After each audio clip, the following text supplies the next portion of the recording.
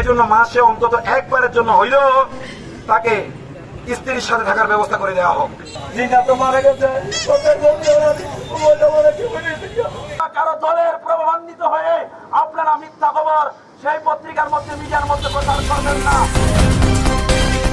সময়ের জনপ্রিয় digital platform Bengal টিভিতে আপনাদের স্বাগতম।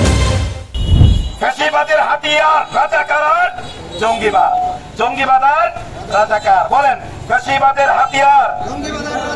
জঙ্গিবাদ আর রাজাকার।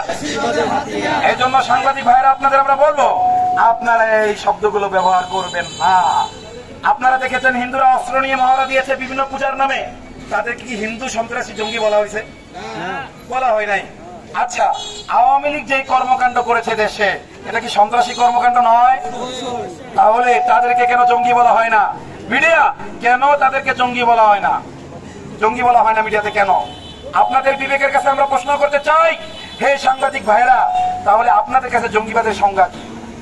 অন্যায় মারবে, মানুষ মারা যদি জঙ্গিবাদ হয়, তাহলে আন্তর্জাতিকভাবে সবচেয়ে বড় জঙ্গি আমেরিকা এবং বাংলাদেশের প্রেক্ষাপটে সবচাইতে বড় জঙ্গি আওয়ামী লীগ এবং ছাত্রলীগ।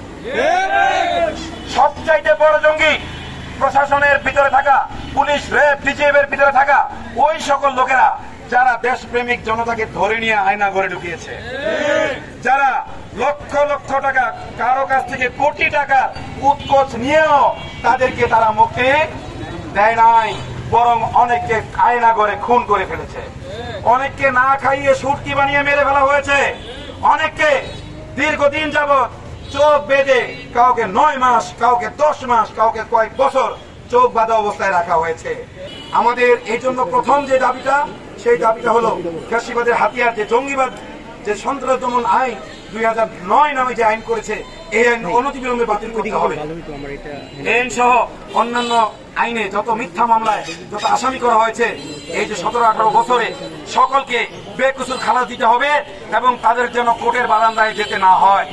আমাদের আরও একটি দাবি ছিল হেফাজত আন্দোলন থেকে নিয়ে এই পর্যন্ত যত মানুষ গুম খুনের শিকার হয়েছে এমনও পরিবার আছে যার তিনি পরিবারের একমাত্র উপার্জনকারী ছিলেন, তিনি নিহত হয়ে গেছেন। অনেক পরিবার মধ্যবিত্ত থেকে ভিক্ষার থালা হাতে নিতে হয়েছে, মামলা চালানোর জন্য তাদেরকে রাষ্ট্রীয়ভাবে ক্ষতিপূরণ দেওয়া হোক। দীর্ঘদিন কারাবন্দী রাখার কারণে তাদের স্ত্রীরা ধৈর্য না ধরতে পেরে চলে গেছে। আমার প্রশ্ন, একজন অপরাধী যদি অপরাধ করে জেলে যান, তার স্ত্রীর কি দোষ বলেন তো? তার মৌলিক অধিকার কেড়ে নেওয়া কেড়ে নিতে কেউ পারবে না। তার স্ত্রী পরিবারের মৌলিক অধিকার কেউ নিতে কেউ পারে না। এজন্য মাসে অন্তত একবারের জন্য হইলেও তাকে স্ত্রীর সাথে থাকার ব্যবস্থা করে দেওয়া হোক। তিনটা মাইকিং করতে আসামি, সবাই স্যালেন্ডার করেন।